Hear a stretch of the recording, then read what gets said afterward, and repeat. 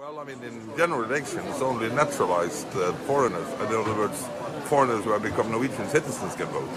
And if you are a naturalized foreigner in Norway, of course you have this, uh, you receive the same benefits and you have the same problems as any any natural-born Norwegian would have.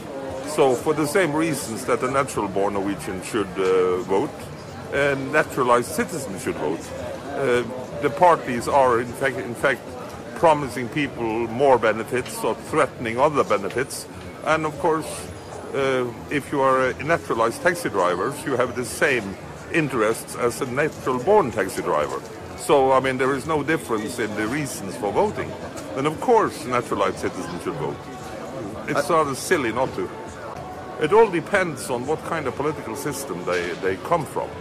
Uh, um, if you are an Englishman or an American, or you come from a, a country that have uh, single-member constituencies, and you're, you're uh, normally voting for your local member of parliament or your local congressman, then of course um, you should realize that abstaining from voting, in other words, not voting, in our system of proportional representation means that you are voting anyway because you can, in a proportional representation system like you have in Norway or in Holland or in Israel, um, you cannot not, uh, not, take part in the political process.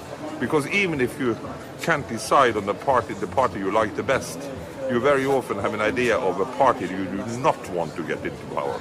And by abstaining, you give part of a vote to the party you hate the most. So the only way you can avoid the party you hate the most from getting power is to go into the polling booth and roll a die and, uh, and amongst, amongst, the parties that you are, uh, you know, think are equally good.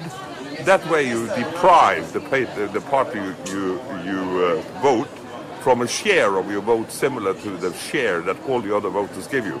So in other words, in a PR system, you cannot avoid influencing politics, even if you stay at home.